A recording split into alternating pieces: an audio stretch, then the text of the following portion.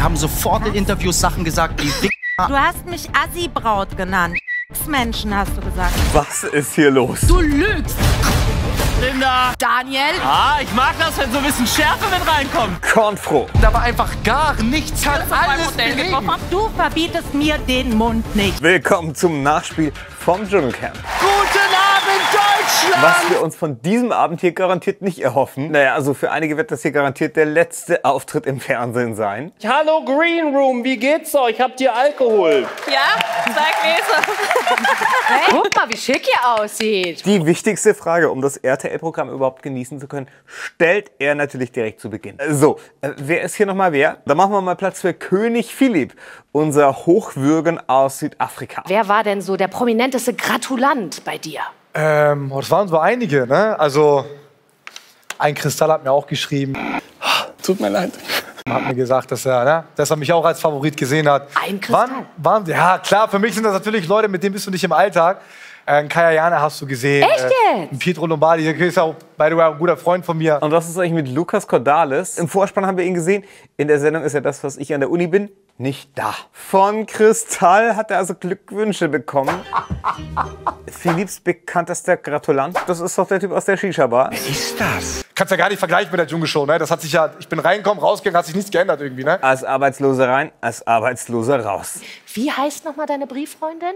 Bettina. Bislang habe ich noch keine Nachricht von ihr gesehen. Toll. Und das Schönste fand ich dann auch noch, als ich wie, ich gehe ja immer in die Kantine, mir einen Kaffee ziehen. Und dann bin ich natürlich, habe ich mich umgedreht, da sitzt halt auch immer die ganze Crew und dann hatten die alle geklatscht. Und das war wirklich Oh. Gänsehaut am Kopf pur. Am Kopf.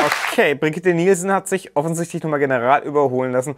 Aber seit wann moderiert ihr das Ganze hier? Emanuel ist und bleibt natürlich Sieger der Herzen. Aber liebe Bettina, warum meldest du dich denn nicht? Ja, aber ich habe Ehre, ich mache sowas nicht. Ich bin total froh, zweiter Platz, so weit gekommen zu sein mit dem, was ich mitbringe und mit dem, was ich so von mir gezeigt habe. Für mich äh, geht es in andere Richtungen und da, deswegen, ich bin froh. Für Erik soll es in eine andere Richtung gehen. Ja, dann hat die aber hoffentlich nichts mit Fernsehen zu tun. Wie reagieren wir alle, wenn Erik gerade mal wieder hier angesetzt hat?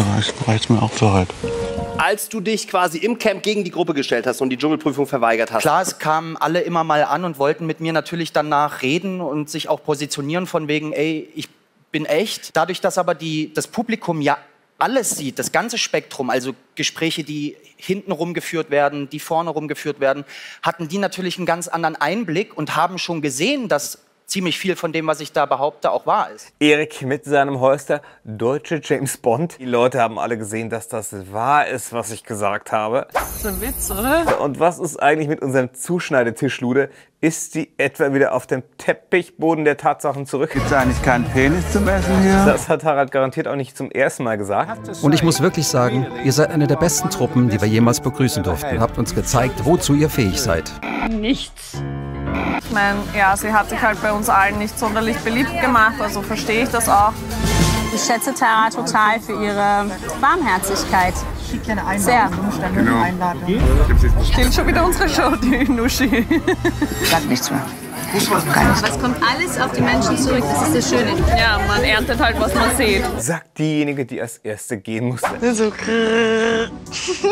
Kaum ist Dieter Bohlen nicht mehr beim RTL, wird der Weichzeichner offensichtlich schon über das Gehirn einiger Kandidaten gelegt. Die einzige, die hier wirklich arbeitet, ist Anushka. Trauerarbeit natürlich wegen der verlorenen 100.000 Euro. Gut schaust du aus. Und die äh, vier freundlichen Damen nur zusammensaßen und gelästert haben, mich nicht gegrüßt haben. Äh, wenn eine sich mit mir kurz unterhielt, kam die andere hinterhergerannt und oh, das geht aber nicht, du bist unsere Freundin. Ich habe das aber alles inzwischen geregelt und ist alles gut. Wie, was, was, wie geregelt, alles gut. Äh, Freunde, bin ich gleich. Meine Frau ist ja äh, bisexuell. Kommt, bin ich hier raus. Ich habe alles geregelt. Wir, die hier wegen Konfro sind, so. Ich finde, es ist so asozial. Ehrlich gesagt verstehe ich das null. Die müssten sich eigentlich mega gut verstehen. Anushka legt auch immer wirklich die gleiche Kassette auf. Jasmin für ihre Playback-Auftritte ja ebenfalls. Das Ich finde es unfair. Unfair. Ja, weil wenn jemand 15 Tage, 24 Stunden gefilmt wird und es werden nur so ein paar Sachen aus dem Kontext herausgerissen, dann ist das Die geilste Idee. nicht besonders fair. Aber es ist mir egal. Ich habe mit nichts anderem gerechnet. Ich finde es schade, wenn man nur so eine Seite von einer Person zeigt. Aber das, das ist offenbar das Format. Ich kannte das nicht so richtig. Was du gesagt hast, hast du gesagt, dass du hinter unserem Rücken gelästert hast und vorne rum zu uns gesagt hast, wie schön wir sind. Sehen wir dann so aus wie auf den Bildern? Oder? Also das, äh, der Wiedererkennungswert ist da, ja. Wie nett wir sind, wie toll wir singen können. Leute, es wird eine ordentliche Portion Konfro auf uns zukommen.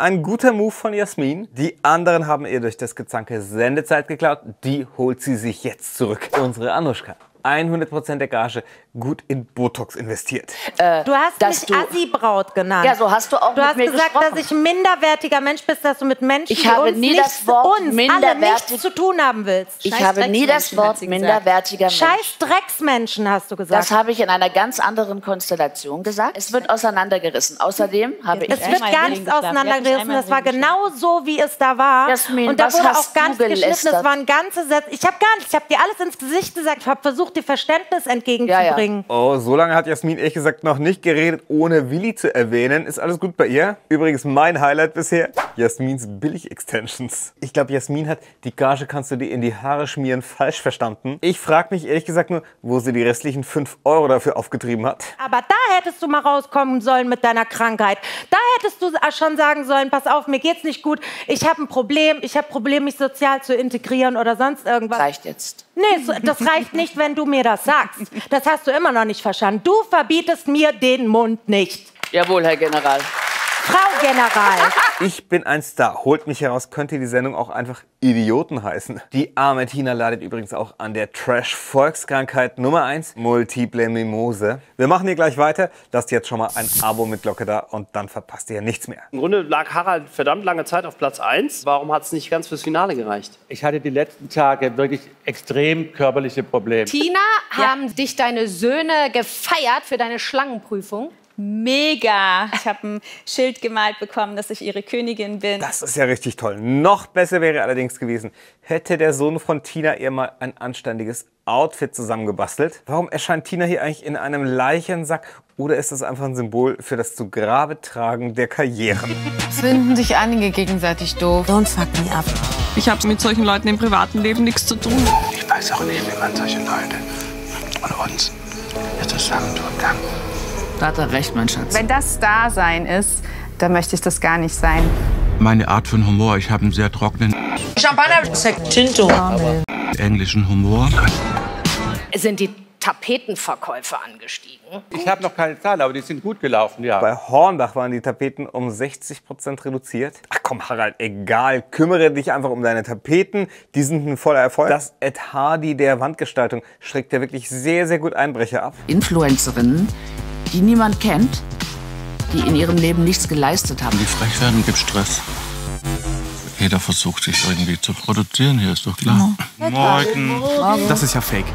Mir ins Gesicht zu lachen, aber mich nicht zu mögen. Jede Nettigkeit ist gespielt. Anuschka ist Schauspielerin und sie ist auch nicht auf den Kopf gefallen. Das wüsste ich ja aber. Die Influencer kennt niemand, aber Anushka möchte niemand kennen. Okay, Google. Was macht Tara eigentlich noch so? Warum zur Hölle möchte das jemand wissen? Tara ist harmlos. Sieht sich als ein Riesenstar. Warum gehst du in die Öffentlichkeit? Ich halte mein Scheiß mal nicht mehr. Und dann kommt's her und gibt mir Bussis. Du hast die Bussis doch auch angenommen, Tara. Die schlechtesten Schauspieler der Welt. Nee, die kannst nicht Ey, das ist ja unglaublich, oder? Ey. Also ich bin ja nicht dumm. Im Gegensatz zu ihr bin ich nicht dumm. Ähm, ein Spruch, aber genau das müsste sie ja eigentlich besser wissen. Ach, guck mal, unseren Ritter von und zu Meth gibt es ja auch noch. Erik Stehfest, der Putin vom Dschungelcamp. Blutschweiß und mindestens drei bis fünf Unterlassungserklärungen. Die sind hier alle so on fire, dass das heute eines wird. Witzig und glitschig. Und danach war halt immer, ja, weil halt so eine Gruppen, Grüppchenbildung war, war ich immer mittendrin, aber da habe ich mich auch heute bei ihr nochmal dafür Man entschuldigt. kann es auch Mobbing nennen.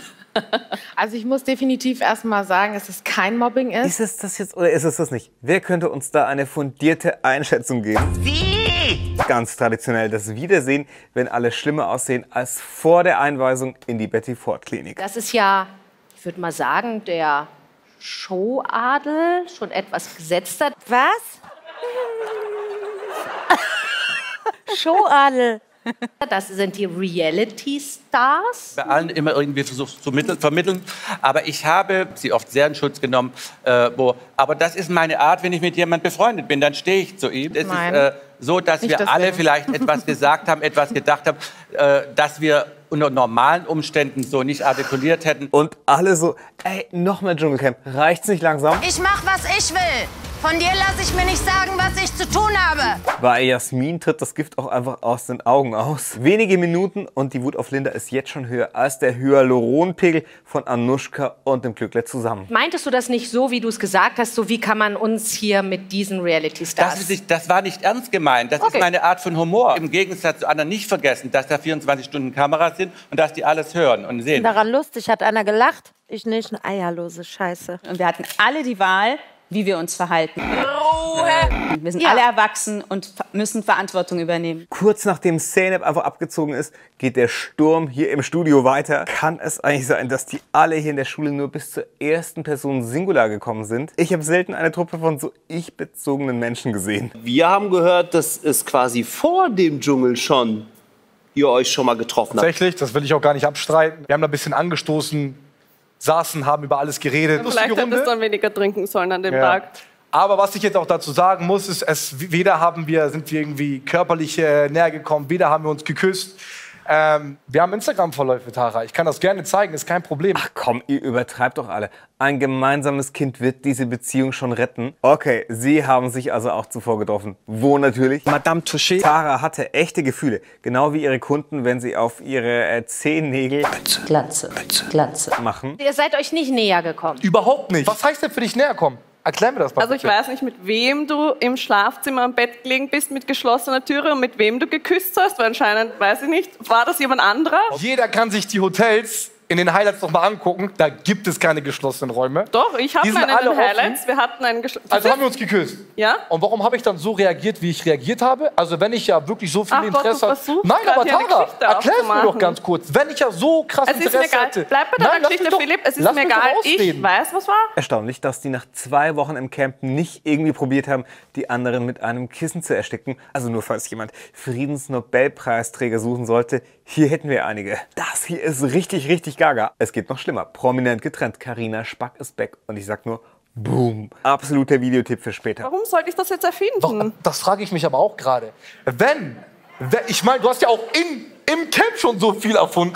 Du warst mit mir in einer Beziehung, ich wusste Aber wenn nichts du davon. das brauchst, Philipp, wenn du das brauchst, damit dein Image gut dasteht, Also dann mach das. Dann nie erzähle sagen, Leuten, was du willst. Augen. Wer hat denn abgestritten am Anfang, dass wir uns Ich gesehen kann haben? Du wurdest in alles- einem Interview gefragt, ich ob wir uns auf alles Hotel belegen. getroffen haben und du hast gesagt, nein. Also wer Sonja, hat denn was abgestritten? Also ich würde sogar mein Handy tatsächlich sofort holen und alles zeigen, wenn es okay ist. Ja, mach doch, das Ich sagt doch alles gar zeigen. nichts. Boah, diese Influencer mit ihren Beweis-Screenshots. Tara, zwinkere bitte zweimal, wenn wir dich retten sollen.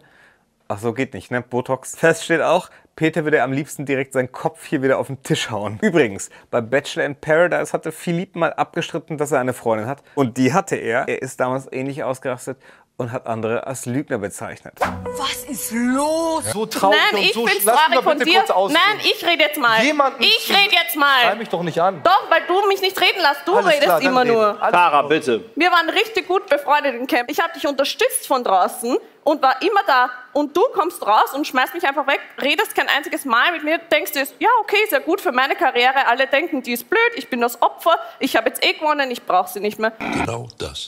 Gut, mach das, zieh das durch. Wir haben uns nicht geküsst, es war nichts, ich habe mir jetzt nur eingebildet. Ich muss mich er ist der was König. rechtfertigen, was Bitte, ich nicht mach. gemacht habe. Lieber Gott, bitte mach, dass es ein Nachspiel zum Nachspiel gibt. Und bitte eines nicht vergessen.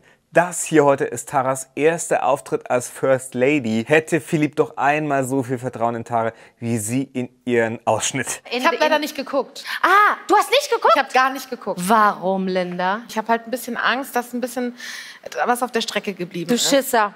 Ja. Kannst du es nicht reflektieren? Ja. Kannst du dich nicht reflektieren? Nee, das brauche ich auch gar nicht mit einer Show, mich zu reflektieren. Nee, Deswegen war ich nicht in der Show. Und reflektieren kann, konnte ich mich währenddessen und dann draußen. Ist klar. Also ich glaube, was mich so ein bisschen unterscheidet von einigen, die in diesem Camp sind, ist, dass ich es zwölfmal abgesagt habe. Und jetzt weiß ich auch warum. Diese zwei Jahre Corona mit vielen, vielen Absagen haben mich dazu getrieben. Linda benutzt zum Reflektieren maximal ihren Schminkspiegel und einmal im Leben eine Anwältin oder einen Anwalt finden, die oder der einen genauso vertritt wie die hier ihr schlechtes Verhalten. Reality-Menschen, für die ist das der Oscar. Das ist die, die Creme fraiche der Reality-TVs. Das heißt, wenn du im Dschungel warst, bist du eine gemachte Person. Aber es ist wurscht. Anushka mal wieder so dick aufgetragen ist sonst nur ein leichtes Tages-Make-up in der Schminkabteilung vom Douglas. Zum Runterkommen nach dem Nachspiel brauche ich auf jeden Fall erstmal die Saw-Reihe. Sag mal, Anushka, hast du dann deine Tochter angerufen und hat sie dir die Wahrheit gesagt? Sie hat aber gesagt, dass ich sehr unterhaltsam war, dass ich am lustigsten war. Sie hat gesagt, dass sie, jetzt darf ich jetzt nicht sagen, sonst beleidige ich jemanden. Also, dass sie das total verstehen kann mit dem Fräulein Rottenmeier. Ach so, jetzt wissen wir ja nicht, wer gemeint ist. Weil sie meint es ja wirklich so, wie sie es sagt. Anushkas Tochter kann offensichtlich sehr gut lügen. These, Daniel Hartwig hört hier beim Dschungelcamp auf, weil er einfach Angst davor hat zu verblöden. Und äh, vielleicht habt ihr das ja schon gesehen, einige der Stars haben ihr Instagram-Profil auf privat umgestellt. Sie wollen sich ein bisschen zurücksetzen und zur Ruhe kommen. Übersetzt heißt das, bis die Kohle knapp wird. und hat sich überall also beklagt über mein Ich sag ja, ich fand Verhalten. gut. Wo habe ich mich überall beklagt? Ähm, die Re Reaktion im Internet war nicht so toll. Das war sehr, sehr hart. Also es war extrem. Ich finde auch, dass die im Internet teilweise echt zu weit gehen. Seht ihr, ne, die Leute im Internet sind zu hart? Ne, das kann eigentlich nicht sein, oder? Naja, also Jasmin Herren hat jedenfalls schon angekündigt, sie wird sich zurückziehen ins Tonstudio. Was genau macht sie da? Putzen? Wir lassen ein paar Ex-Camper die Staffel kommentieren. Ich bin ein Star, holt mich hier raus. Ach du Scheiße.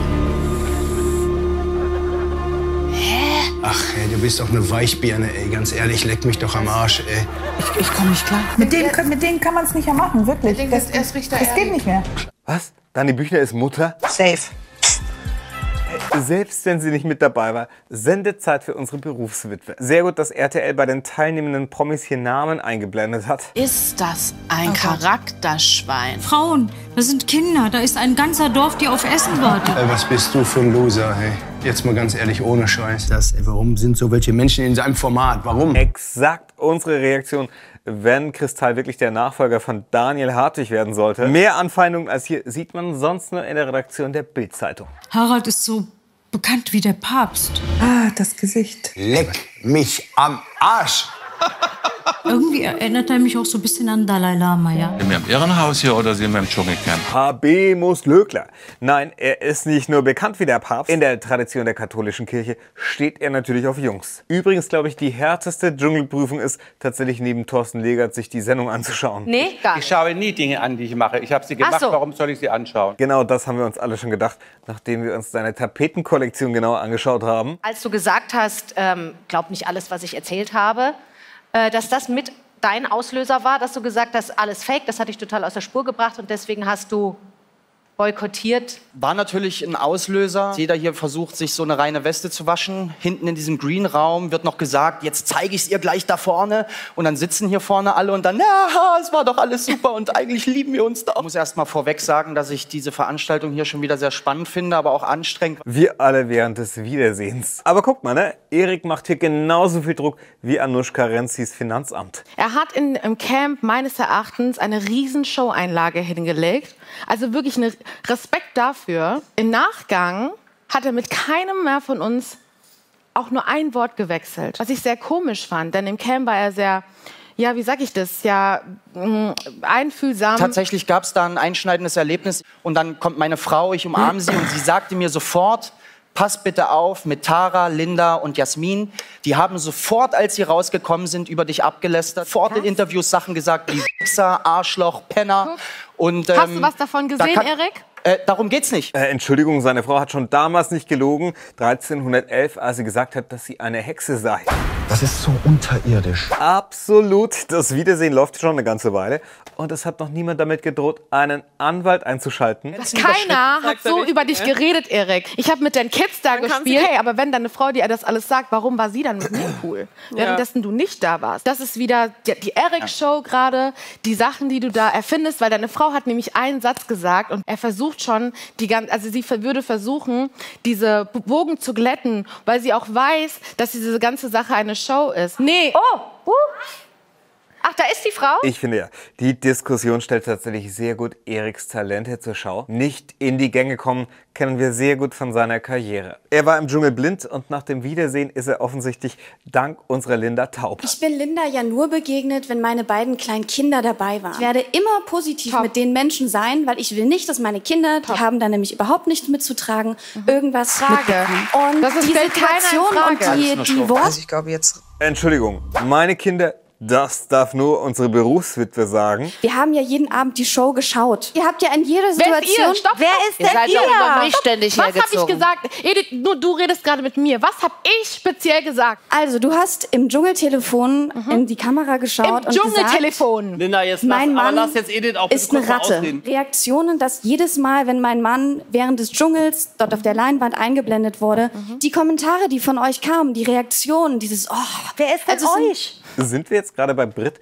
und wo ist der Typ mit dem Vaterschaftstest? RTL bringt wirklich alle TV-Klassiker zurück auf den Bildschirm. Deswegen ja, Sonja kennt sich doch eigentlich wirklich sehr gut mit Lügendetektoren aus. Erik ist so geladen, genau das Gefühl kennt Peters Frau schon sehr lange nicht mehr. Du hast eben gerade selber gesagt, dass deine Frau dir gesagt hat, wir hätten schlecht über dich gesprochen, währenddessen du noch im Camp warst. Jetzt hat sie gesagt, es ging darum, was ich im Dschungeltelefon gesagt habe. Habe ich dir das ins Peter, Gesicht gesagt oder nicht? uns. Ich habe dir ins hast du Gesicht. nicht. Du lügst. Wenn normale Zuschauer jetzt gerade mal auf RTL schalten, die fragen sich doch auch, aus welcher Irrenanstalt wird hier gerade gestreamt? Ich bin sehr dafür, dass beide aus diesem Streit ja vielleicht sogar ein Buch machen. Das käme uns allen zugute, falls irgendwann mal wieder Klopapier Mangelware sein sollte. Weil im Nachgang hättest du deiner Frau auch sagen können, nein, das war im Dschungeltelefon der Fall. Okay. Aber wir hatten danach darüber gesprochen und wir hatten gute Vibes. Ist schon weil okay. ich bin mit guten Vibes mit dir da rausgekommen. Seine Frau meinte, dass ihr abends, wenn die, die weiteren Sendungen liefen, über alle hergezogen seid. Was aber, ich habe sie jetzt gerade gefragt, was hat sie gesagt? Was habe ich gesagt?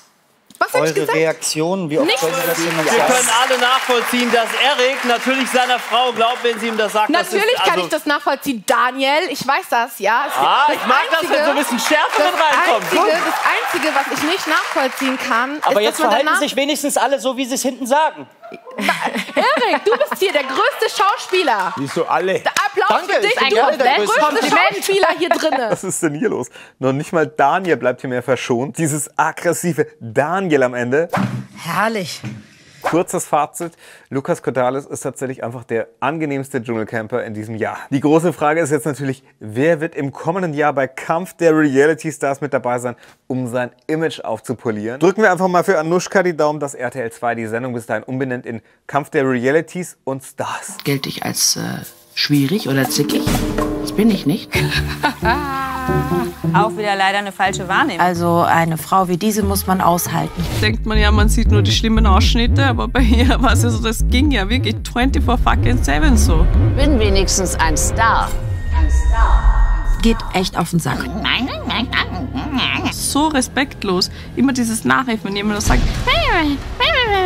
Red nicht wie so ein Assi-Braut. Ich mach, was ich will. Das sind einfach Proleten. Jasmins Interpretation der Lage liegt genauso daneben wie meine damals von Effi Briest. Jasmin, zusammenfassend können wir einfach sagen, ihr habt euch alle verdient. Ich bin entsprechend auch dafür, dass das Dschungelcamp an Vorschulen ja als Pflichtfach eingerichtet wird. Eine bessere Motivation, was zu lernen, gibt es nicht. Ich war bestimmt nicht sehr geschickt, wenn man, wenn man äh, Reality-Stars sagt, dass sie Reality machen und genau wissen, wo die Kameras sind, um was wie zu sagen, e- mit Effekt. Das ist klar, dass die sich dann zusammenrotten und mich als Feind sehen. Und ich habe nicht ohne Grund meinen Weg hier ins Dschungelcamp gefunden.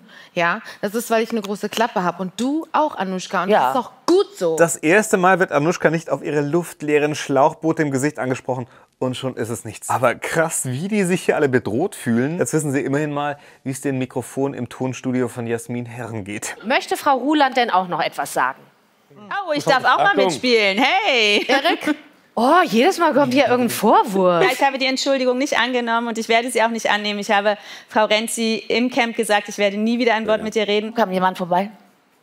Die ja, ganze ich war Zeit- freundlich. Ja, oh, wow, das ist ein. Fehler. Nein, ich war nicht aufgesetzt. Ich habe kein einziges Mal gelästert über niemanden. Und das hat, da hatten wir Das alle hast du die aber Wahl. danach geholt da im hatten Hotel. wir alle die Wahl. Das ist auch würdelos, es ist jemanden- würdelos. Jemanden, ich möchte nicht mit dir sprechen. Okay, dann Dabei bleibe ich. mir. Wie humorlos kann man eigentlich sein?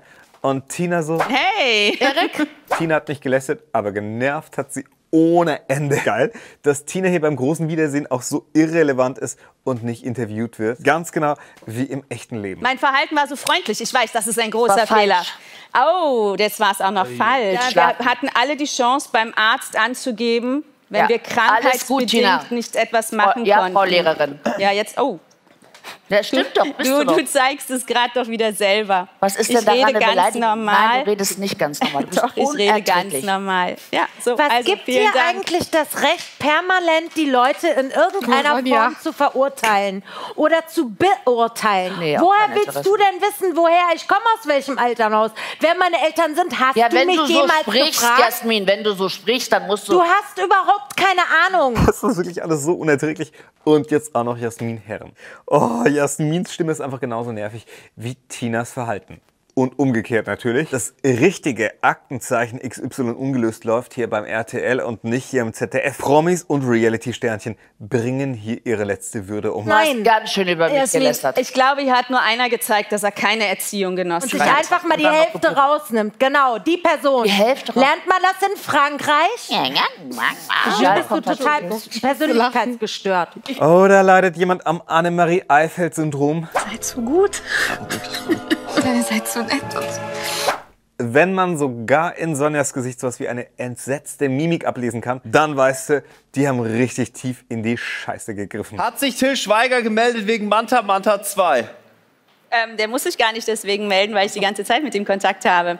Also ähm, für mich hat sich das Dschungelcamp definitiv gelohnt. Ich habe Angebote seitdem bekommen. Ist vielleicht auch immer eine Frage, wie man sich dort präsentiert und gibt. Tina Ruland hat richtig viele Angebote. Nie war Eriks Forderung Ich möchte nach dieser Show möchte ich die Akte sehen. treffender. Graueregen, Hamburg meine Perle, so kenne ich dich. Philipp ist gelandet und kein Mensch erkennt ihn. Ich liebe alles. Oh, er hat nachgedacht, oh Gott, das hat garantiert lange gedauert. Und auch die letzten Monate und letzten Jahre große Probleme mit der Reinigungsfirma. Ich habe so einfach für mich entschieden, dass ich euch auf jeden Fall den größten Teil meines Gewinns geben werde, einfach auch für dich. Jetzt ist das ganze Geld weg. Naja, muss man halt einfach weiterhin Fußnägel verkaufen. Naja, bucht Tara ihn jetzt einfach zum Putzen. Jetzt, er ahnt es, Daniel Hartwig kündigt seinen Abschied an. Und mein allergrößter Dank geht an, oh jetzt wird's doch sentimental, ne? oh Gott, oh Gott, geht an Sonja die es mir 2013, obwohl es so schwer war eigentlich, und ich weiß, dass es für dich damals auch schwer war, trotzdem so leicht gemacht hat. Es war eine irre Zeit, es war ein irres Abenteuer und ich kann mir niemand lieber vorstellen, mit dem ich das erlebt habe. Vielen Dank für alles, Sonja, von ganzem Herzen, das werde ich immer mit mir tragen. Danke sehr. Ganz ehrlich, natürlich wird Daniel Hartwig fehlen und natürlich freuen wir uns alle auf Kristall als Kandidat im Camp. Maximal. Er hat während der Staffel ganz viele Andeutungen gemacht, die habe ich euch alle hier verlinkt. Klickt mal in das Video rein. Ich finde es im Nachgang super spannend. Könntest du bitte aufhören, mit dem Penis zu spielen? Angetrunken in der Verkündung? Ich glaube, mehr kann ich nicht erreichen, diese Show. Ich hör auf. Danke für neun unvergessliche Jahre. Danke dir. Vielen Dank, meine Damen und Herren. Danke sehr. Fand ich jetzt ganz schön ergreifend, ehrlich gesagt. Wie cool, dass die beiden sich halt offensichtlich auch wirklich mögen. Daniel, ganz ernsthaft, du warst ein mega Nachfolger für Dirk Bach. Und Sonja weint natürlich sehr, weil sie weiß, dass wahrscheinlich Kristall kommt. Leute, lasst direkt jetzt ein Abo mit Glocke da und gebt mir einen Daumen nach oben. Hier geht's mit prominent getrennt weiter. Das ist das absolute Trash-Highlight. Verlinke ich euch auch hier. Und hier das Video mit den Anspielungen aus der Staffel. Daniel hat nämlich schon deutlich gemacht, dass er aufhört. Viel Spaß damit und dann sehen wir uns gleich hier.